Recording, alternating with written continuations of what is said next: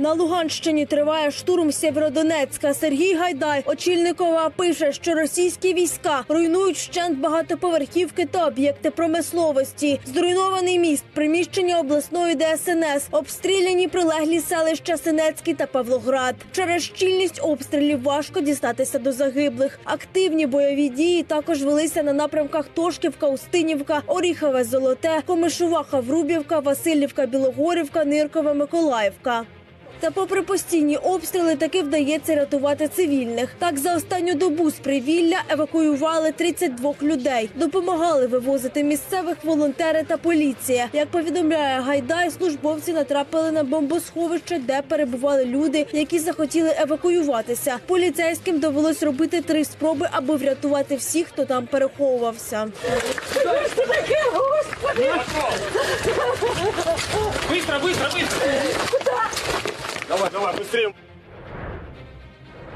За минулу добу противник здійснив гелікоптерні атаки парами Мі 8 по українських позиціях на Миколаївщині та Херсонщині. В районі Снігурівки відбувся повітряний бій. Про це інформує оперативне командування Південь. З винищувача су 35 росіяни випустили ракету. Нашим гелікоптерам вдалося ухилитися. Противник, економлячи ракети, ретирувався. На додачу до збитого ранком над Миколаєвом Орлан-10 на Херсонщині зенітно-ракетним підрозділом заземлено ще, ще один. А зі стрілецької зброї дістали і звичайний квадрокоптер. В цілому ж під час виконання вогневих завдань, в тому числі і нашими ракетно-артилерійськими підрозділами, противнику завдано втрат у кількості 28 рашистів та 10 одиниць техніки, серед яких, крім повітряних розвідників, гаубиса МСТА, Б, команда штабна машина, 5 одиниць броньованої та іншої автомобільної техніки.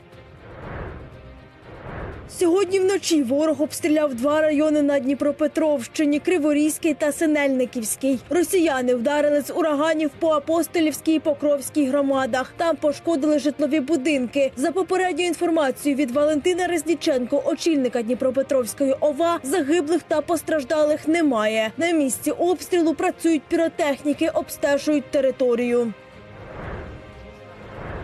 На харківському напрямку ворог обороняє загарбані позиції та намагається перешкоджати просуванню підрозділів сил оборони до державного кордону. Накриває вогнем населені пункти області, обстрілюють рашисти і слов'янський напрямок. Загарбники здійснили вогневе ураження. Зокрема, задіяли армійську авіацію у районах населених пунктів Рубіжне, Руська Лозова, Байрак та Дементіївка. На слов'янському напрямку окупанти основні зусилля зосереджують на спробах встановлення повного контролю над населеним пунктом Богородичне та створенні умов для розвитку наступу на Слов'янськ. Ворог застосовує артилерію поблизу Дібрівного, Карнаухівки, Нової Дмитрівки та Вірнопілля.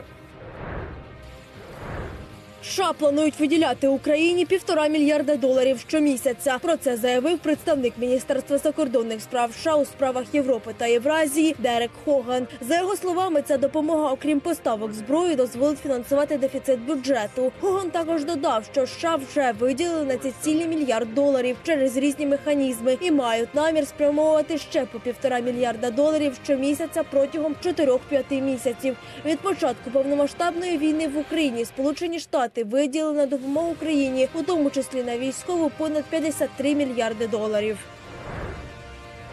Навіть під час бойових завдань під обстрілами та кулями українські військові не забувають дбати про братів наших менших.